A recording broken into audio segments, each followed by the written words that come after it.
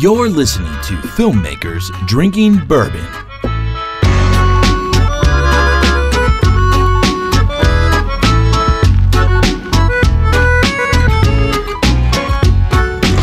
Hey, what's up, world? It's Brandon, And this is Alex. and we're filmmakers. And we're drinking whiskey. ah, whiskey, huh? It is. It's a special day, man. How did It's, that uh, happen? St. Patrick's Day today. Oh, that's why everybody's got green on. Exactly. So by the time you're hearing this, it will have been yesterday. But as we're recording, it is currently St. Patrick's Day. It's currently today. Today. Yes. Thursday. It is always today on FDB. It is. No matter what day it is, it's today. Yeah, man. So anyway, we're drinking. Well, cheers. Let's let's clink this All right, thing. let's Here cheers we go. it. Which, by the way, I don't. I've never had Jameson on the rocks. Okay. Cheers. Try it.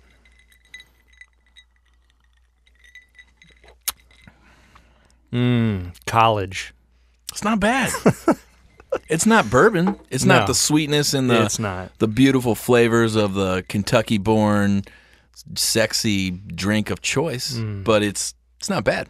It's not bad. But either way, It makes me feel like that guy. Who's the guy, on the Ultimate. Fighter uh with the beard, McGregor? uh McGregor. Yeah. Uh is it McGregor? McGregor, Conor. Conor, Conor McGregor. Yeah. If I want to fight somebody right now, You, you shouldn't do that because I'm the only person in this room with you.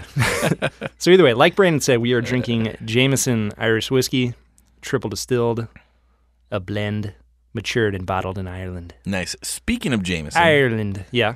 is it Jameson that they've been doing? No, it's not. Oh, sorry. What? I don't think it's Jameson. What? I'm thinking of awesome commercials. The rain one, I'm thinking of Johnnie Walker. Johnnie Walker. Yeah, keep walking. Keep walking. No, that's not, that, this. Not that Jameson doesn't have good commercials, I'm sure they do. but I the can't think of one. the off top of my Johnnie head. Walker commercials are pretty amazing. Yeah, and one that uh, our good buddy here at Sound Images, Adam Plyman, just referenced was the Tullamore Dew commercial, where they're drinking and singing in like a graveyard, and you think they're going to a funeral, and then it's like raining and it's super dramatic, and all of a sudden, the dude's bride to be pops out behind them, and they're saying goodbye. It's pretty cool. Yeah. Awesome. Anyway, Wow. Jameson. So many memories. uh huh. So many spirits. Oh, here you go. Fun fact. John Jameson founded his distillery in Dublin in 1780. Nice. You know I'm Irish. Are you? Faris. I only spell it with one R. Most Irishmen and women spell it with two R's. Yeah. For a minute, I thought I was Lebanese. I thought you were French. No, I thought I was Le- Fari. No, I thought I was Lebanese. Uh, the in Lebanon, Faris, F A R I S, or Yeah. F- Faris, or whatever, is uh, like a powerful king. It's like a lineage of kings. So I got really excited. I got really excited. Um, Heir to the throne. well, yeah, kind of. Uh, we had a, a random lady show up to a family reunion, and she was Middle Eastern and said that she was related to us wow. and that no one really knows where she came from. And we looked into it, and I decided I got excited because Lebanon's pretty awesome. It's like the Paris of the Middle East, Okay. and I was like, "Oh man, this this is awesome. This is really cool." Yeah. Uh, decided to do family tree DNA. They sent me a swab. Mhm. I sent off my DNA. Comes back, not Lebanese. Wow. But isn't it amazing that you can do that? Yeah, I'm Irish, and uh, basically I'm Irish, and from my mom's side, I'm a little uh, English. So you're not a king. Not a king. I'm a pauper. You're a king in my world, bro. I'm like a. I'm like. I'm like a poor kid scrapping up the potato farm. Wasn't there a thing there with potatoes? Yeah, it was like a whole Irish deal. potato famine. yeah, that whole thing. I'm like scrapping up potato skins. Yeah, they like lived on like potato Yeah. scraps and There's nothing forever. king-like about me.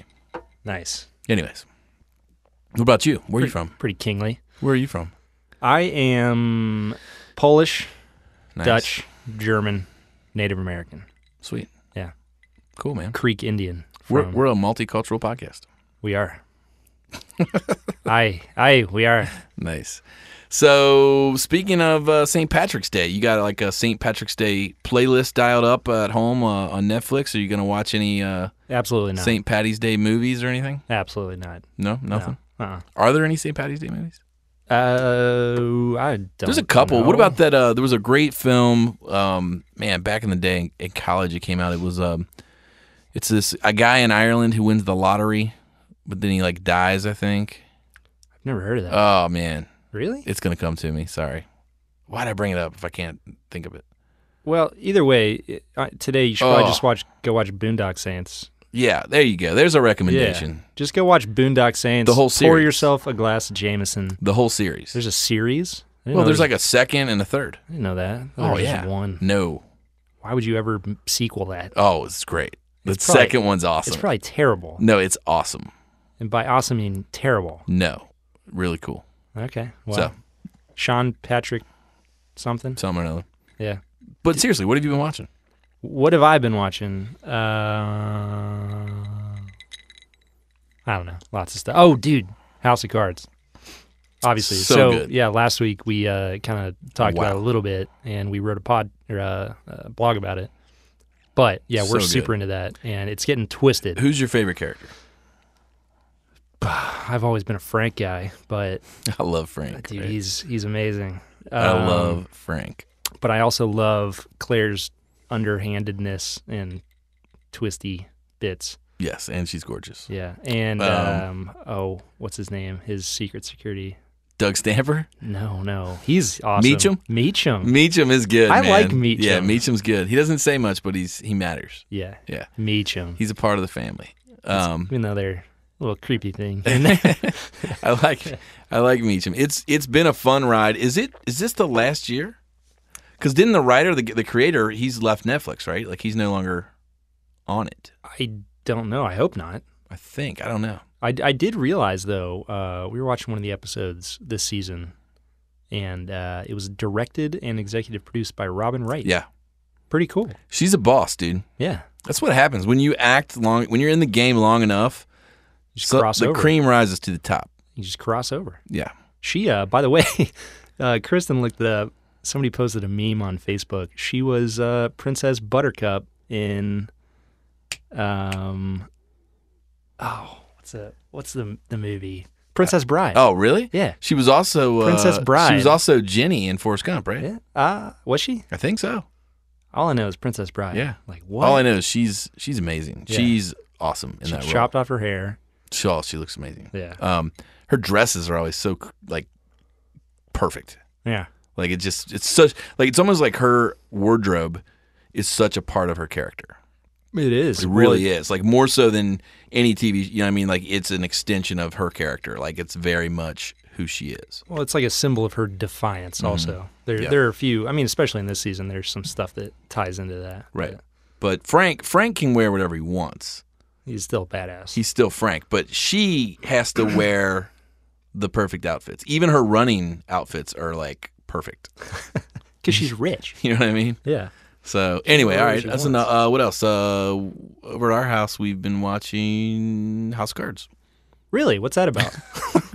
So clearly, that's the leading uh, the leading show. Um, so I don't know. I- We've uh, yeah, that's really all we've been watching right now. nice. Is that it? Have you gone to the movies at all? Or? No, no, No. need to.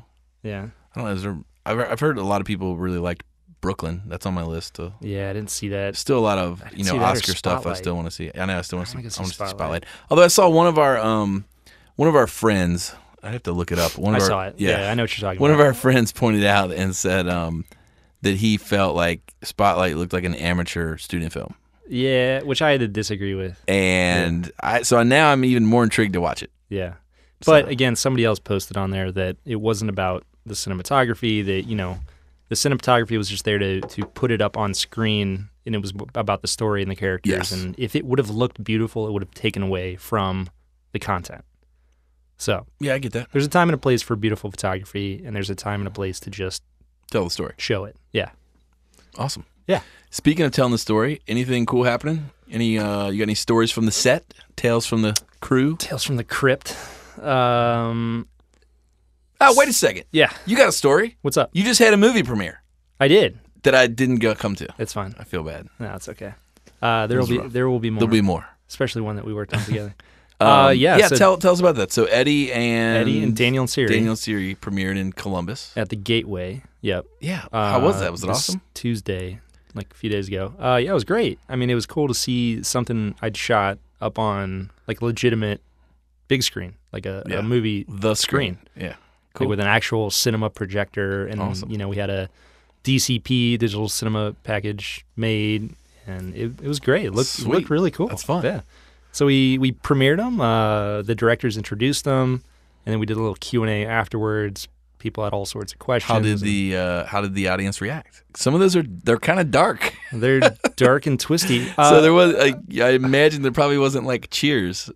Oh, there was a lot of lot of cheers. Well, I mean like yeah. during the film or like No. Yes, it was people going uh, either what's going on or wow, that just happened. yeah. Um, They're like, hmm. Yeah. Thanks for reminding me of my failing marriage. yeah, something like that. Yeah, well, we had a cool surprise. So uh, Daniel Montesano, uh, one of the Daniel from Daniel and Siri, um, came down from Queens. I believe he's from Queens. He's from New York. He came down. He drove down and stayed with the director and came to the premiere. It was pretty awesome. Sweet. So yeah, he was there, and I was talking to him afterwards, and he goes, "Man, uh, you know, I read the script, but this is the first time I've seen it. I didn't realize how heavy this film is." yeah. And we're like, "Yeah, yeah, it is. It's dark." Yeah, that's interesting. So it was cool. We got to talk to people and uh, discuss the process and cinematography, and yeah, a lot of good questions. Awesome. Yeah. Yeah, I I wanted to come. I played my cards with the weather. Oh, it's all good. I felt bad. Yeah, I drove home. I got home at like two in the morning. Oh yeah, Yeah. I, didn't want to do that. Um, but it was good overall. Yeah. Very good. We had like 45, 50 people there. So That's nice. It awesome. was a nice turnout. Yeah, That's half awesome. the theater theater filled. That's great. Well, I have something for you. Really. I have a hard drive Ooh. with 816 gigabytes Yeah. of Kill Game there you go. on it. There should be more gigabytes of kill game. So um, Always. So you guys have heard us talk about Kill Game on the show, uh, our short film, and we are at a crucial point where we've got a, a cut we like a lot, and we're hmm we've tweaked it and we've pushed it far along, but things are ramping up on in my world um, enough that I just can't push it over the finish line. So uh, this is a lesson I would like to share with you listeners. Sometimes you have to let go. Sometimes you got to let go, and uh, but you want to do that with people you trust and you know. And so we, uh, me and Alex, decided we wanted to bring in our buddy Brad. Brad. Gallowin, who's Yeah. been on the show, uh, great music video director, great director in general, cool dude. And I said, hey, what if uh, what if you think he'd be interested in hmm taking it across the finish line? Yeah. So I reached out to him and, uh, and he was like, showed him the cut, and he goes, "Yeah, I'm in." nice, Just like that. He said, "Yeah." Sweet. Yeah. So we're gonna get him a hard drive and So yeah, so finish it uh, so hopefully that's going to be happening soon, and we're going to get that thing uh, going. We're going to see what uh, our friend Adam Plyman has capacity to contribute. If he can contribute on uh, sound score or sound mixing or one of the two or both or and then uh, we'll Yeah. push it further down the line and then uh, hopefully uh, see see if our uh, our buddies in the color correction world want to contribute as well and then we'll be Mhm. done we'll have Yeah. a film and then we'll have a premiere, all right and then we'll win awards, awesome and then we'll be famous, and then we'll quit this. yeah I'm just kidding. no, so, No, that's gonna happen. so so what did you learn in that process so you did two short films you screened in Yeah. a thing what is what are the takeaways for people listening who are trying to shoot a film and screen it at their theater Something we say a lot, or we talk about a lot on the show, is pre-production.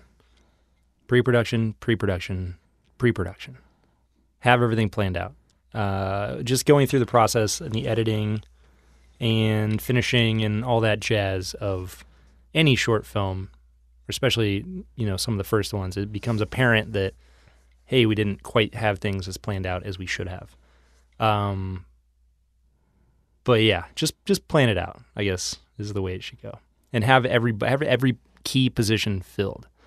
Um, so for Daniel and Siri, um, I did a lot of my own focus pulling.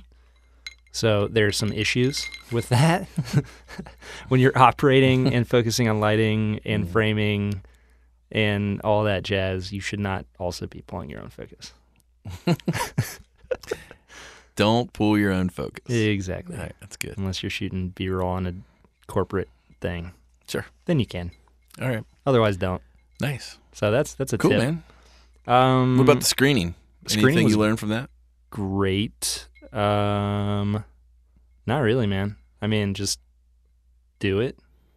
Get a film done and have have get some eyeballs on it. Like that's key. And then do another one, Nice. which is where I'm at. All right. The another one part. Yeah, you're always on the on to the next one. Yeah. On to the next one. On to the next one. Um, cool. That's awesome.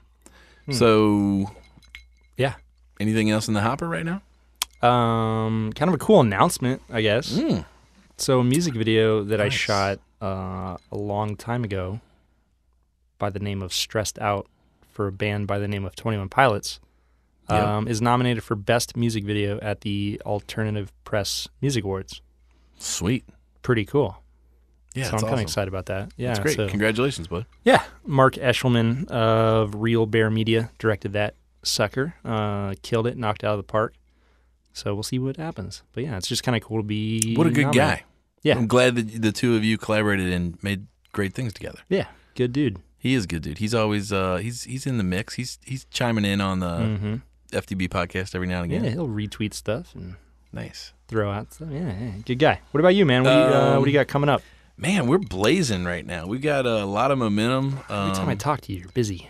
Well, it's been it has been busy. We're doing some things over at uh, LeapFrame and collaborating with our friends at Sound Images and Neltner Small Batch, um, Mm. designer, director, creative director guy. We actually just had this really cool session. So Keith Neltner, we'll have to get him on the show. He he lives out in uh, out in the country. He's got a rural design firm. Does Nel- he like uh, Neltner or- Small Batch. Yeah, oh yeah. He makes not only that, he designs labels for bourbons Nice. And does really cool branding stuff. And so we we pitched on a project for a university, Universidad, um, and we were awarded the project. So we pitched it as sort of a collective, and we've got sound images. They're going to be doing some original score, sound mixing, sound design stuff, and then. Uh, Neltner helped on the ideation process. So actually, yesterday we, we had a lot of fun. We went out to the Neltner farm and had a morning session of just ideas and then the client came out to sort of experience the farm. So we curated many of those ideas in the barn. Like we took all of our ideas that were on this like uh, brown parchment sort of paper and to hold all of the stickies and stuff onto the paper so it wouldn't fall off we just took packaging tape and started like layering all of our ideation and then rolled it up into a big tube and then carried it down to the barn. Wow. and then laid it out in the barn. So here we are with like all of these like uh, designers and like fancy people who are like, you know, work for major brands and we're all standing in a barn Yeah. looking at uh, these ideas for this commercial. Or taped onto a It was great. It was a lot of fun. And then amazing. afterwards, um, something they won't forget. yeah, he owns a little tavern, and um, after we were done, we walked over to the tavern and, and had a beer and cheersed and drank some bourbon and had just some time of you know building chat. building relationships with the team and and I think that was really cool. What I learned from that moment, kind of watching the client and sort of seeing that experience is um, there's a lot of value in changing things up. hmm And so, you know, if you're out there and you're you're a filmmaker, director, and you're working with your client, like, you know, maybe maybe you don't have the presentation meeting in the boardroom, but maybe you maybe you take them out to the location where you think you're going to shoot, and that's where you present your final idea. Yeah. And getting sometimes people out of their normal space, I think allows them to think freely and allows them to not get caught up into um, the things that are uh, maybe holding them back from from taking a chance. Yeah. So it's pretty pretty interesting. So one of the like things, it. It's a good strategy. yeah. So that's some of the stuff that you know our company is trying to really push forth is this point of view of um, we really want to push clients to take chances and really make something great, and not just make a video because the internet tells them they need more video. hmm You know, kind of Yeah. like what Ro- Ro- uh, Rollo was talking about from Wipster, from the Wipster episode. If you go back and listen to the Wipster episode, Wipster, Wipster episode, um, there was a great Yeah, a conversation there episode. about just like the future of like business films and content and really making stuff that matters versus um, doing stuff just because somebody posted an article on LinkedIn about video drives 20% more traffic. like it's not video that drives it, it's good content Yeah. it might be a video, but if it's not good quality storytelling, it won't get you that 20%. And if it's not good quality storytelling, it might actually hurt you. Yeah, could So- be could be the opposite. You know, So we're super excited. We've got like three really strong ideas um, that we're going to present, and hopefully they'll they'll pick uh, they'll pick one that you know I think everybody gets excited. I think there, are, I can I'm excited about all three of them. cool. That's There's important. definitely two that are in my heart. The third one's not in my heart. It's it's in my head. It Hmm. makes sense. It's respectable. I would gladly make it. I will be proud of it. Yeah. But there's two that are literally in my heart right now. that you just want to do. I yes. Nice. Yeah. So it's fun. Cool. Well, maybe we can apply that uh, same kind of breaking the mold tradition strategy to uh, other aspects of filmmaking as Yeah. well. Like if you're a writer, maybe instead of writing in your basement like you always do, go to a coffee shop or a field or a Yeah, go yeah. barn absolutely. like you. you absolutely. try or to- or go to the space where the story takes place, right? yeah, if you're writing a gangster story set in a diner, go to the diner. Yeah, or- maybe some ideas will flow. Yeah, or go to the, the smoky bar in the backwoods or yeah. if you're writing a, you know, story about the Amish, go to the Amish country. Put yourself somewhere new. Oh, I like that. That's Mm. nice.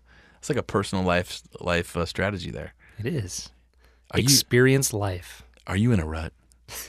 Put yourself somewhere new. Put yourself. The latest new. book from Alex. Yes. Put yourself somewhere new. An FDB bestseller. Um, so what are you excited about, man? Is there anything? What's what's bubbling up? We're getting a bunch of emails from NAB. yeah. That I'm excited to go Really cool. to NAB. I Hopefully, just we're gonna got get a together. uh, an email from Adobe about like Yeah. a cocktail yeah, hour. we're party. We're gonna party with Adobe. Yeah, with uh, we're gonna party editor. with Wooden Camera. well, the editor of Deadpool, I guess, is going to be talking at Yeah. the Adobe cocktail hour. Hell and- yeah, it's gonna be great. We're gonna be hanging out with all the cool kids. yeah. And I just talked to uh, our friends at the camera department here in Cincinnati, our local camera rental house. Are they going? They're going to be going. Yeah, we're gonna have to have some bourbons with them. Yeah, so Ben and Mal are going to be going. Uh, they said they're going to be staggering it, so we're going to have to find an overlap point Nice. and all meet up. Um, That's fun, man.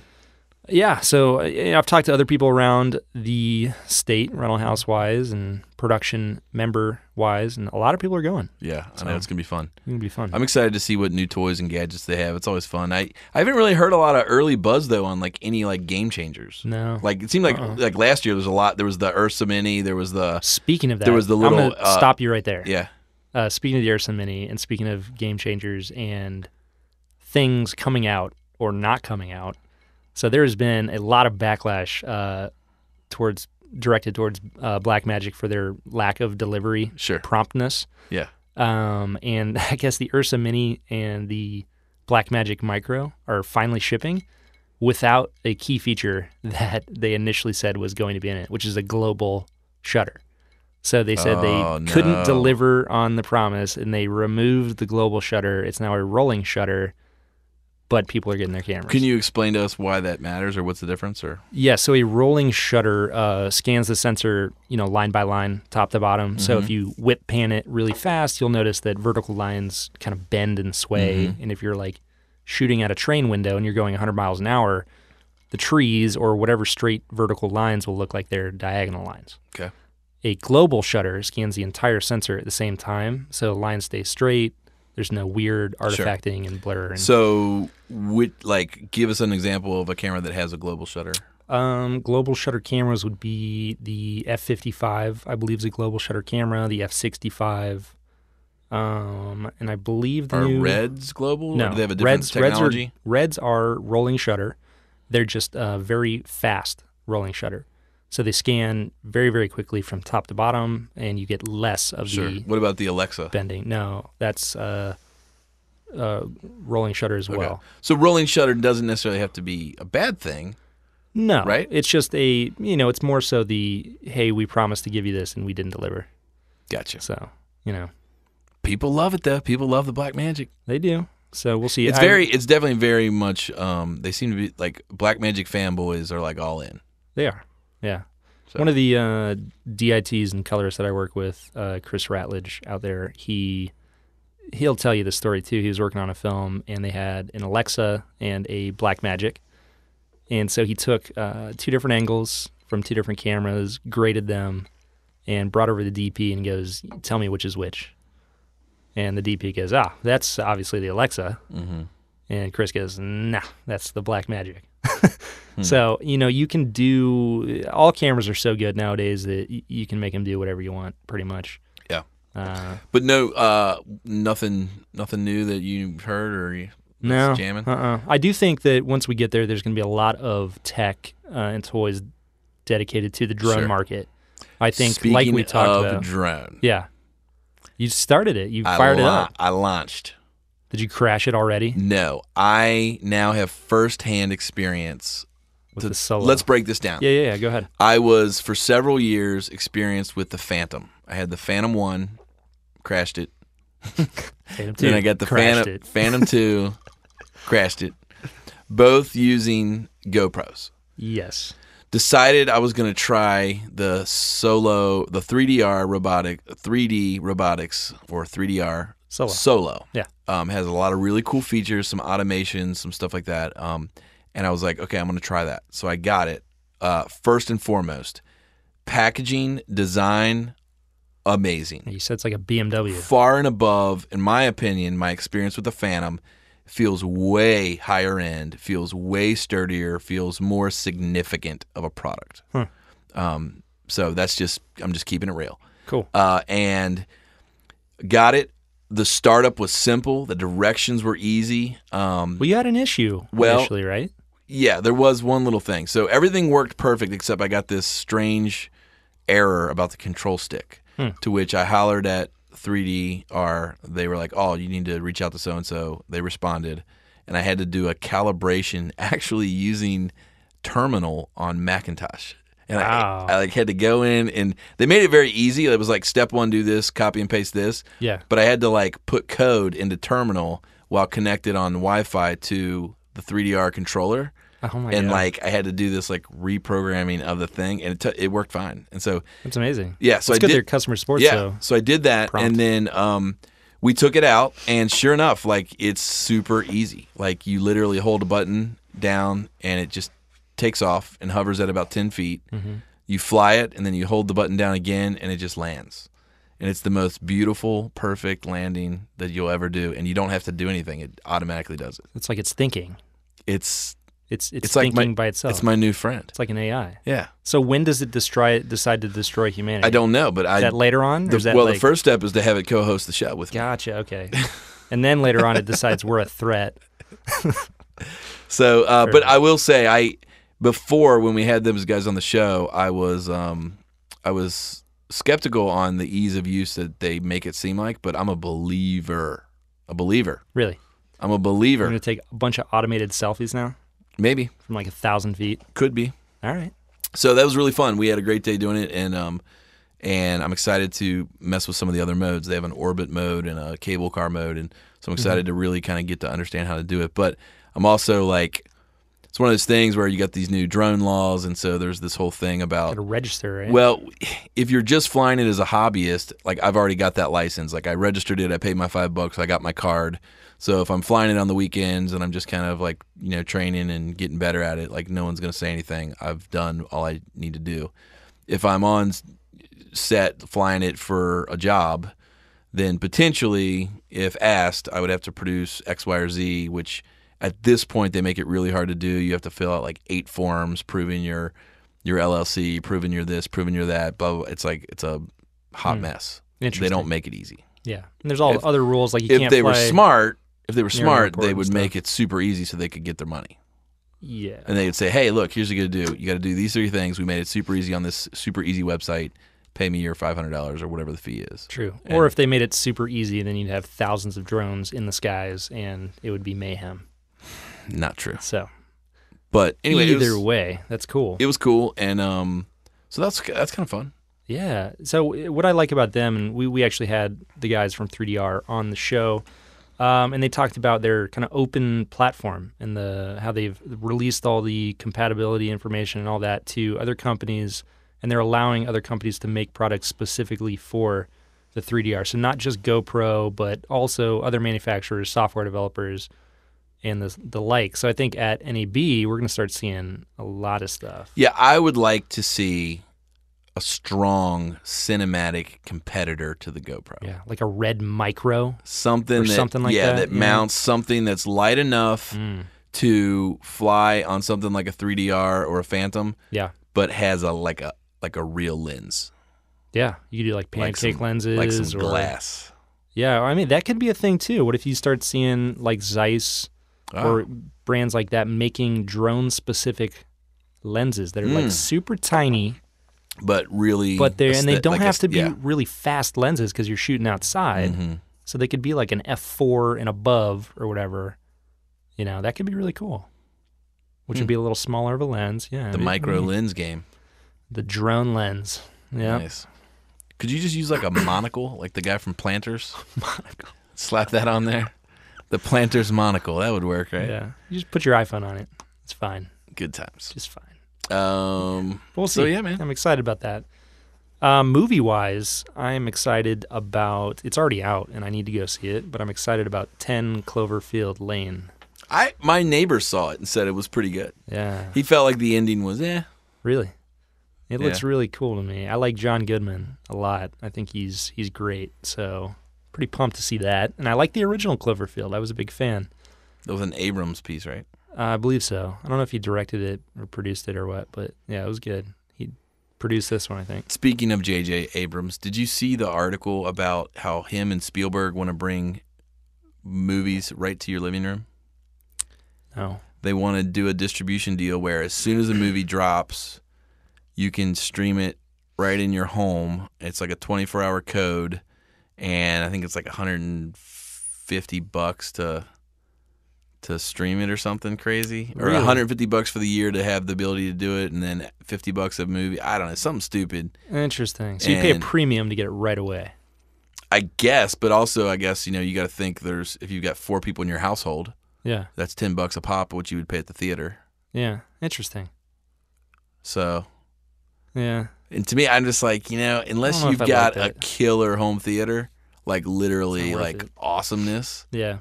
but See, because I like the experience of going to the theater. I like sitting there in this giant screen, crazy good sound system, like nothing like my home Sure. system. not everybody. Some people, when they go to the theater, all they think about is the potential contraction of bed bugs. Yeah. I guess. Or like That, sitting on a, a, lot of people, or lice. A lot of sitting on a people, needle or a lot of people think that they're going to go to the theater and get come home with lice and bed bugs. I've never That's a real that. concern. I've never heard that at all. Oh yeah, it's a thing. Adam, nod your head in there. Is that a thing? Adam agrees. As he's scratching his head. It's like a thing. Like people have people people are grossed out by things like movie theaters and sort of like community seating, really? buses and stuff. There's a whole group of people that are like, Ugh, Just carry uh carry some sanitizer with you. You're fine. I'm not worried about it. I mean, they got they've got You know. solutions to fix all that Just stuff. wear a full body condom and carry Look. some sanitizer. Look, if and I you're get good. if I get gonorrhea in a movie theater, I mean, so be it, right? So be it. You saw the movie. It was fantastic. it's all worth it. You know? Uh, Story has been satisfied. Awesome. So, anyways, yeah, man, what's that's fun. yeah, Uh, but yeah. So 10 Cloverfield Lane. Really excited about that one. you know, I um, I'm excited to to get some more guests on the show. I'm not. I'm We- selfish. we were we were jamming. Uh, No, we we, were we had some good ones. Yeah, we were jamming early on or uh, last January, year. February. Yeah. January, February this year, we had some killer. I want to get some more people on the show. I want to, you know, I want to get some more brands on the show. I want to hear, you know, what they're developing, what they're up Uh-huh. to, and I want to get some more bourbon on the show. Exactly. Yeah. And I want to apologize to our listeners. I have, you know, I've dropped the ball. I've kind of champ been the champion of bringing on the bourbon distilleries, and it's all you. um, I I'm It's your sorry. fault. I'm sorry, and I'm going to change that. I'm going to change that, and I'm going to bring bourbon back to this show. You're gonna make FDB great again. Is I'm gonna gonna make I'm going to make FDB great again. Good. Good for you. Yeah. So, anyways, Uh, cool. Yeah. No, we, we definitely need to get some more brands because I want to know the inside dirt on the new gear coming out. You know, yeah, I want to hear those little. Hey, we're, That's not good. supposed to tell you, but we yeah. And you know what? We may, maybe we need to have our, our friends from Videomaker back on. Maybe Mhm. we need to have. Maybe there's a couple people we can invite back. yeah, we could Because there's been some good shows, and to to bring them back would be nice. Oh yeah, I mean we could go back to wooden camera and say, hey, what do you got coming out? You know, new Mm. red weapon. You got the Ursa Mini. What what do you got for those cameras? That could be fun. All right. It's a good idea. All right. Well, we're going to be planning some shows for you guys, getting you the the A1 content Um, thanks so much for listening. But I want to let you guys have a little bit of airtime. So, uh, strolling through, you guys have been great chatting to us on uh, on Twitter, um, The tweeter. on the Twitter, and uh, we had one from uh, Ray Rushing at Ray Rushing. He says, "When will this be on the show at FDB Podcast?" And evidently, Drake, as in The running through the six with my woes, uh, has now doing a line of whiskey.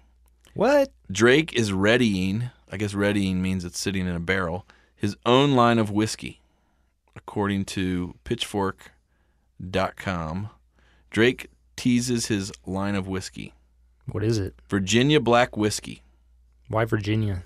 Uh, after that legendary moment, what else is there to do but celebrate with class? There's no word on it when it will become commercially available. Uh, but yeah, Hmm. Drake's Drake's getting in the whiskey game. Interesting. It's gonna be six percent. I guess I don't know. So uh, Ray, thanks for uh, for bringing that up. That's pretty interesting. Um, I don't know. Do you think celebrities should just be throwing their hat in the whiskey game? Uh, celebrities throw their hats in lots of games. Yeah. Especially alcohol. You've got what Ciroc. Jay and Z's you've in got the he's in the he's in the F game. and vodka, and you you know it's Yeah. always like a lot of the clearer liquors though. I don't know that I know any celebrities down with the dark stuff. Yeah, you would think that uh, you know you think of bourbon or whiskey, and you think of like you know I think a country music Zac artist. Brown something. band. Yeah. I'm a Zac Brown band, and I'm drinking my whiskey. I don't The know. new single from Zac Brown I band, don't- drinking my whiskey. I'm not sure what his music sounds like, but that that's that's pretty much Uh. what I think it sounds like. That's hilarious. I'm a Zac Brown and I'm singing my song and I'm drinking my whiskey. Nice. Um, you got a career ahead of you, my friend. yeah, yeah, you know, Uh, but yeah, that's what I typically think of as country music. yeah. So that's kind of fun. Uh, we had uh, our friends over, uh, you know, from last week's show. Um, Hmm. the the guy the cats at uh, Son Lux in the band they favorited our Nice. they favorited a tweet Good. about their video. That's kind of fun. because their video is amazing. Um, what else we got people talking about here? Um, I don't know. South by is still going on, yes. so that's kind of cool. There's Wish a I lot. could be there's a down lot there. of people that are thanking us for following them. Hmm. We like to follow people. If you want to follow us, follow us at FDB Podcast on Twitter Yeah. and Instagram, FDB podcast, and we'll follow you as well. no doubt. Maybe. Maybe if we like you. So that's a great show today, buddy. Yeah, We Do caught have up. any, uh, we got back to our roots. no listener mail or anything. you know what? Any Not as many people. I feel like I Nobody think wants what to talk. I think what has happened is people have just embraced Twitter and Instagram. Yeah. and that's really where the activity happens. So, l- I, pe- not as many people are um, jumping into Sending like an direct- ask me anything or whatever. It's Yeah. usually like, hey, I'm if I gotta say something, I'm just gonna shout out on on social media, Twitter, Instagram. So Yeah, interesting. yeah. Hmm. Well, So cheers to all of you out there enjoying a nice whiskey with us on this St. Patrick's Day, catching up old times. Today today felt a little bit like episode one. it was Just me and you hanging kinda out, chilling, nothing crazy talking, going on. catching up. Recap. Yeah. All right, man. Well, I guess until next time. Cheers. Cheers.